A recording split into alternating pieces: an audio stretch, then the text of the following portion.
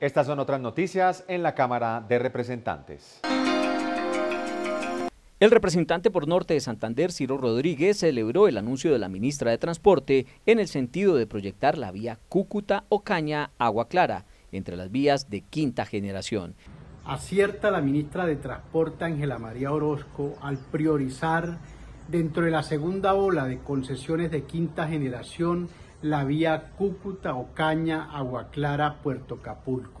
Con esto cumple ese gran objetivo del Plan Maestro de Transporte que es unir la zona fronteriza de nuestro país con los centros de consumo y centros de producción. Es integrar toda la zona fronteriza de Cúcuta con el desarrollo multimodal que se genera a través del río Magdalena, de la Ruta del Sol y de la línea férrea central.